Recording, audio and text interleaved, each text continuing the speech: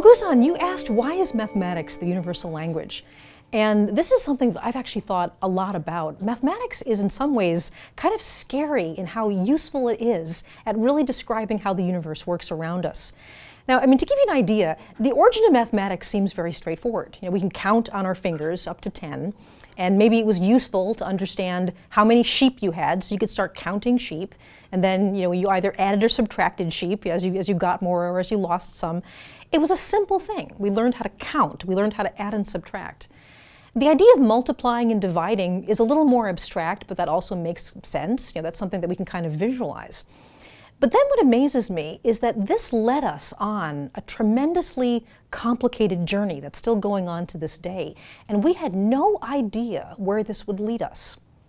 If you can do multiplication and subtraction, it's not too long before you begin to develop the basic building blocks of calculus. And calculus describes how moving objects can change, how, they, how things can accelerate. If you want to describe an apple falling from a tree to the ground or a ball rolling down a hill, that's calculus. It's the, the mathematics of how things can change over time. That's really interesting. And the amazing thing is it works so well. If you use these equations to predict how a ball will roll down a hill, reality matches that. It really does tell you how something is going to behave. So now we've gone from counting on our fingers how many sheep we have to being able to predict what the universe around us is going to do. That's incredibly powerful. Now we look around us and we see things like planets orbiting the stars or the galaxy turning around, and we realize those equations of motion apply to everything else in the universe. It's not just here, it's not just on the surface of the Earth, but we can look at things literally billions of light years out in space, and they're following those same rules of mathematics. But now things got strange. We started to play with calculus. We started to see where it would go. What happens if you put in more variables and you solve for more things at once? And we ended up with some very strange abstract concepts that turned out to be surprisingly useful. One of the things that kind of worries me is something called imaginary numbers. Um, imaginary numbers are numbers that don't really make sense in our proper definition of mathematics. To take, for example, the square root of negative 1. Now, in mathematics, if you multiply something by itself, it always turns out to be a positive number. That's never a negative number.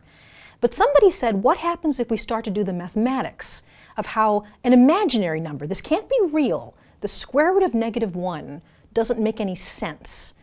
But it turns out to be able to describe how things rotate, and that became the foundation of quantum mechanics. And here's the thing, now when you use a number that shouldn't exist, that doesn't make any sense, it predicts exactly how an atom will vibrate. It will predict how quantum mechanics at a very small scale runs. And it needs a type of math that doesn't make any real sense to us, but it works. It works perfectly. So we keep getting led farther and farther down this rabbit hole. Where does math lead us? Now we realize that you can describe physics incredibly well if you allow the universe to exist in many different dimensions, more than the three dimensions that we're familiar with. In fact, specifically, if you want to do particle physics, it requires 11 dimensions.